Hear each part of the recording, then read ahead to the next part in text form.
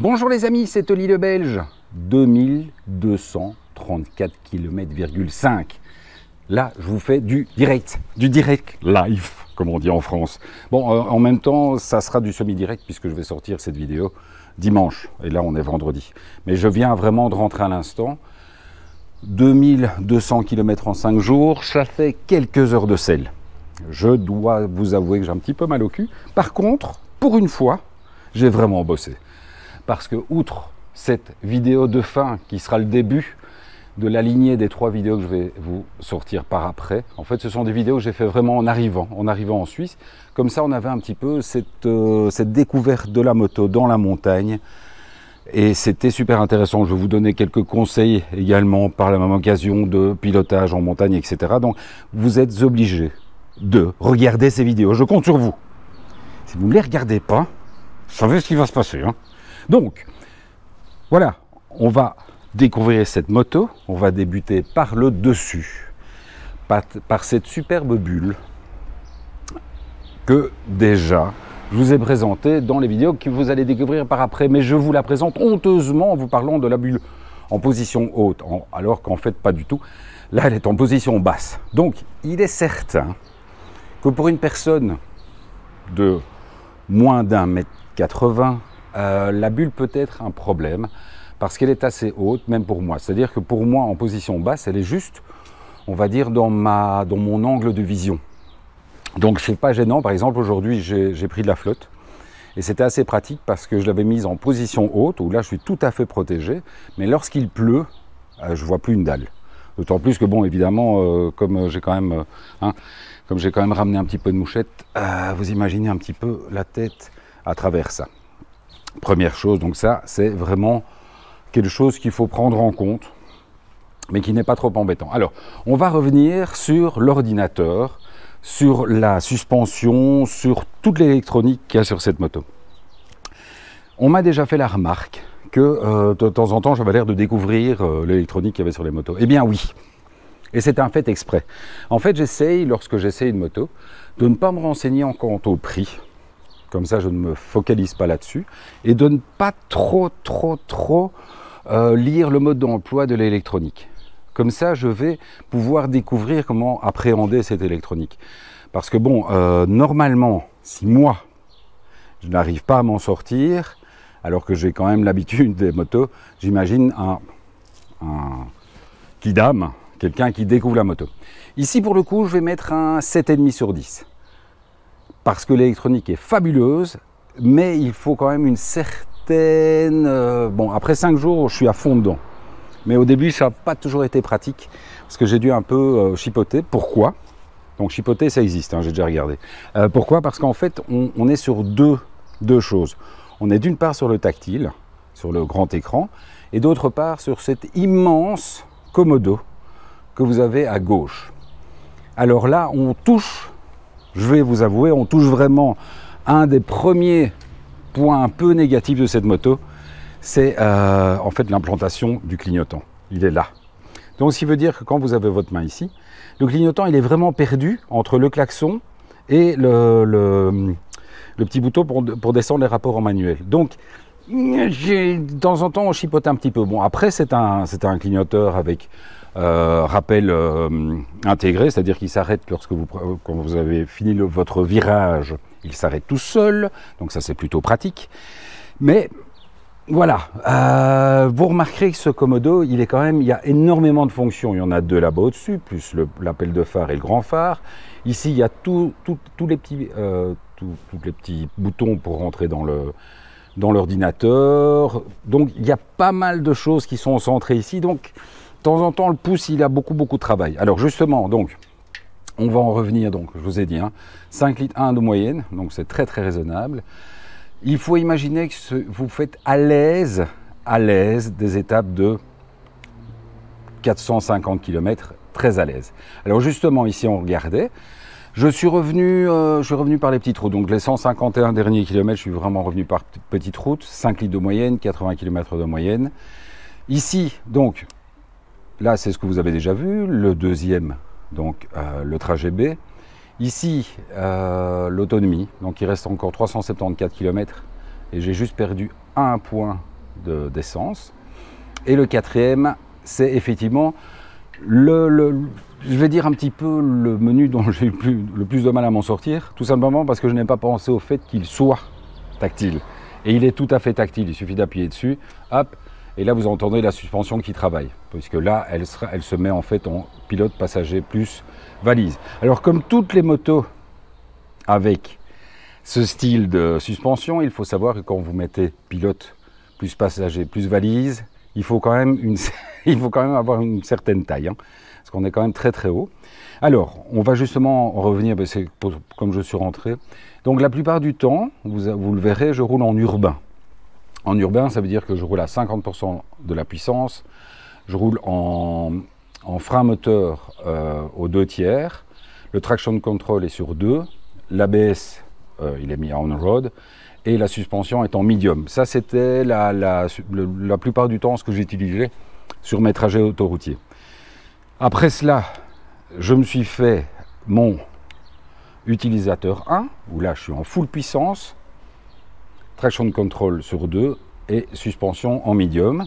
Et l'autre, pour vraiment quand j'étais dans, dans, dans, la, dans la montagne, où j'avais vraiment envie de m'amuser comme un fou, où là effectivement je, suis en full puissance, frein moteur à fond, 2 en traction control, l'ABS road et la suspension en art. Alors effectivement, vous voyez, donc déjà, ça c'est juste la base. Hein. Donc ça c'est le premier. En fait, par exemple, c'est là où c'est pour ça que je suis un petit peu fâché avec l'électronique, c'est qu'en fait, il faut être sur ce mode-là pour changer les suspensions, etc., la précharge, etc. Donc, il faut vraiment, vraiment, j'ai dû un petit peu, un petit peu chercher, alors qu'à contrario, euh, franchement, euh, le, le, DCT est vraiment super simple, lui. Donc, vous avez Drive, Sport, vous appuyez une fois sur Sport, vous avez Sport 1, deux fois Sport 2, trois fois Sport 3, neutral, donc là, vraiment, donc le neutre, et alors manuel et électronique le cruise control qui fonctionne extrêmement bien. Alors là, j'étais vraiment emballé parce que vraiment ce cruise, control est génial. Et évidemment, avec la boîte, c'est un peu comme si vous aviez une automatique, c'est-à-dire que vous sortez d'un payage, vous remettez la boîte sur la vitesse euh, enregistrée et elle passe toute seule toutes les vitesses. Ça, c'est vraiment top top. Maintenant, vous allez voir également, je lui ai vraiment vraiment fait faire des petites routes même des mini-routes quasiment, je, suis quasiment parti en off-road. Et justement, à un moment donné, je suis parti en off-road. C'était pas du tout prévu, mais je suis parti en off-road. Mon frère était devant moi avec sa multistrada, on se paume un petit peu, à un moment donné il voit un talus de 4-5 mètres de haut, bien en gravier, c'est-à-dire qu'on était assez haut pour qu'il n'y ait plus d'herbe. Et donc lui, hop, il monte ça, passe en deuxième, clac. Moi j'arrive et j'étais je m'étais mis tranquillement, parce que la route était vraiment défoncée, donc je m'étais mis sur euh, utilisateur urbain, avec évidemment l'anti-patinage à fond. Donc je suis arrivé dans la montée, et qu'est-ce que m'a fait la moto? Elle s'est arrêtée. Elle n'a pas coupé, mais elle s'est arrêtée parce qu'évidemment, euh, elle commençait à patiner à mort. Donc là, coup de bol, qu'est-ce qui s'est passé? Bon réflexe, le frein à main. Donc j'ai hop, je l'ai tapé comme ça vite fait. Bon, c'était mieux parce que c'était avec l'autre main. Mais Et, qu'est-ce que j'ai fait? Ben, Tout simplement, là, j'ai profité de l'électronique. J'ai remonté, donc j'ai en, en, urbain mode. Je suis très urbain, moi, comme mec. Hein. Et je suis passé en mode gravier. Et là, la moto s'est vraiment stabilisée et a démarré, mais alors d'une manière extraordinaire. On continue, donc je vous ai dit réservoir à l'aise 450 km protection impeccable, la selle, bon, il ne faut pas rigoler, évidemment, bien entendu qu'après autant de temps, j'ai un peu mal au cul, mais franchement, c'est très raisonnable.